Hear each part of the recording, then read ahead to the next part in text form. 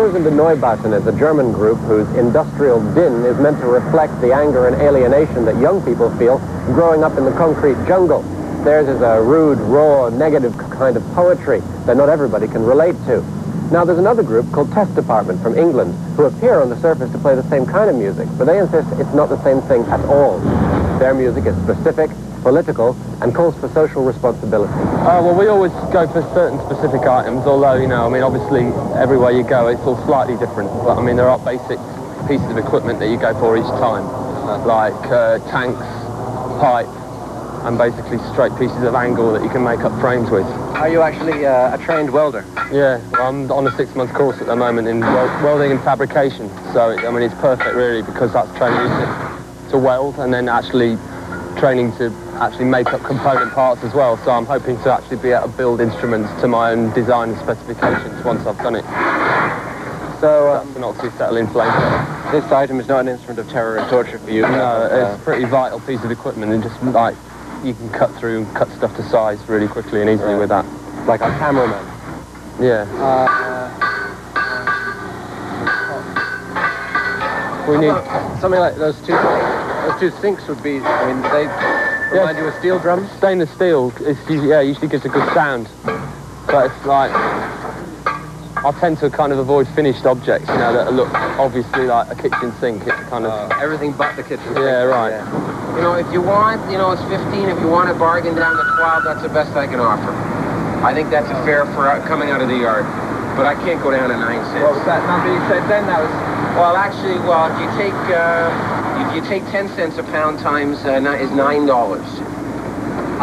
Yeah. So I'm charging you 12 got a big shot of your name. Yeah, your, your, your yard's going to get, TV, getting know, free advertising in. yard in, you know. All right, fine, I could argue. Ten dollars. Fine. right. Big seal here. I'll be able to get that operation out.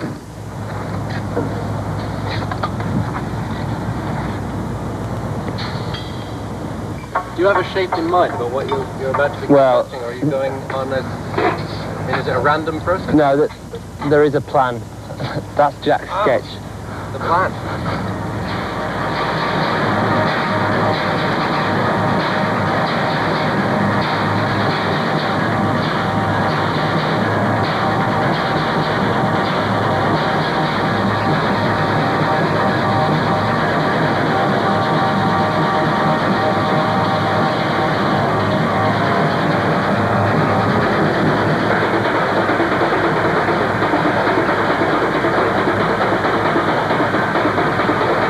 Recently rock and roll has made all kinds of efforts to inform, educate people and to raise money for a variety of charities and benefits. Uh, the most political one I've heard of was, I think, what was called the Red Wedge in England with uh, groups like, uh, well, Billy Bragg and uh, Style Council. As I understand it, their effort was to inform people about the evils of the Thatcher government.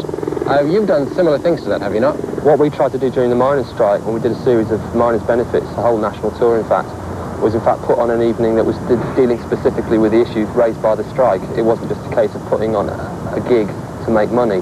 We actually wanted to educate people and show people and introduce people with, to the actual people who were involved in the strike themselves, you know, the actual communities involved.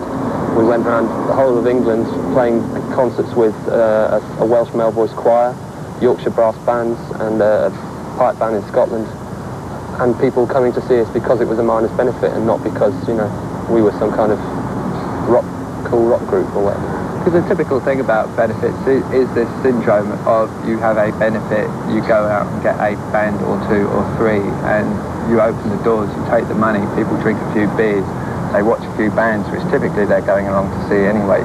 The bands, the, yeah. yeah. the fact that they're actually supporting a cause. There, has been two or three little surveys that have actually turned up the result that like only 15% of the people who go along to benefits actually go along because they know what the benefit's for. We try to do something to, to change that because as you have these bands, all of a sudden you, you get a speaker get up there and, and talk for five minutes about about why the benefit's going on and everyone shoots off to the bar. You know, so that's what goes on. And we thought, well, it'd be better if we can actually just set up a whole scenario of life like what the miners lead. We had all sorts of films and slides um, so that all night long, as soon as the audience came in, there was like these pictures just of the miners' lot.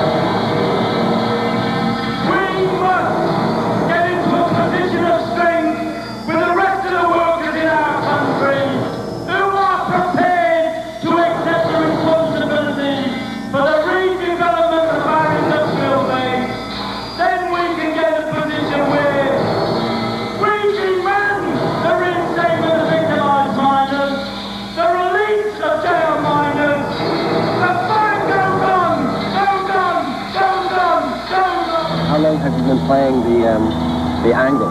Oh, right, well, for five years, basically, as long as we've been in existence.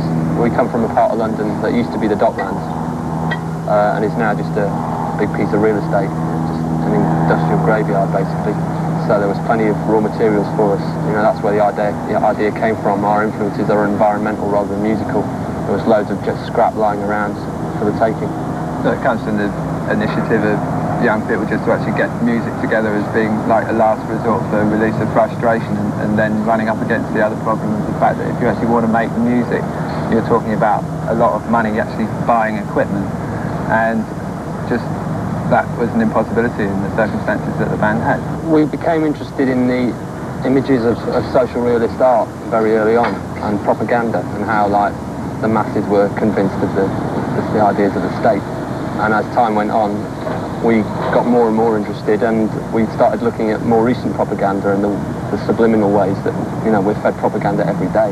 Knowing that all kinds of older and disapproving people say that all this rock music sounds the same, all that punk music, it's just one song played a different way again and again, uh, I would can only imagine the kind of criticisms they would level against your music. Are there in fact subtleties that one is supposed to be hearing?